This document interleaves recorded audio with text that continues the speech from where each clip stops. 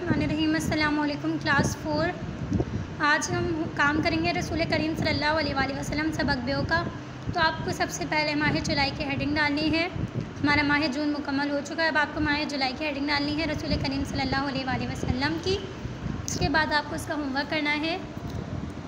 फिर आपको हेडिंग डालने के बाद आपको सबक की हेडिंग डालनी है। सबक नंबर दो, रसूल करीम सल्लल्लाहु अलैहि वसल्लम।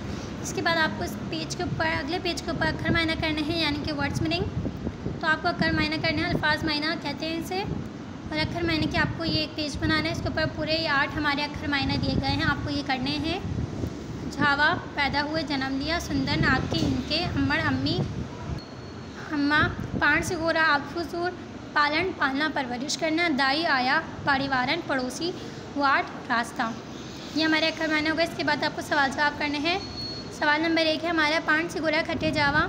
तो इसका जवाब है पाँच सिगुरा मक्के शरीफ में जावा हा। सवाल नंबर दो, पाँच सिगुरा कैड़े कबीले में पैदा थिया? जवाब, पाँच सिगुरा कुरेश कबीले में पैदा थिया।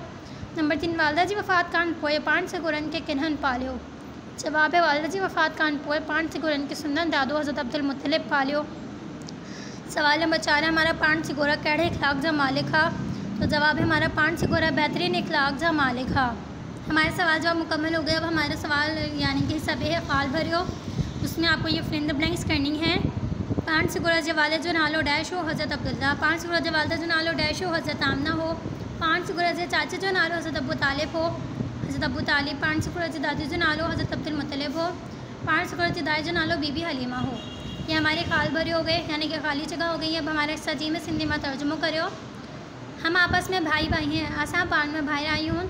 बड़ों का कहना मानते हैं असा वडन जो छियो में झंडा आहन।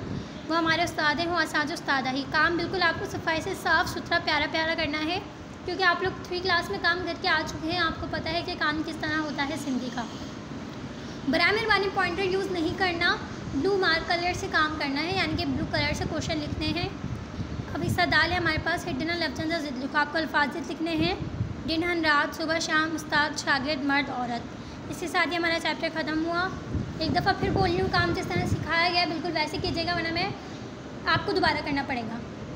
आप लोग जानते हैं कि फिर काम आपसे दोबारा करवाया जाता है, इसलिए काम साफ़ सुथराई से कीजिएगा। अल्लाह हाफिज़।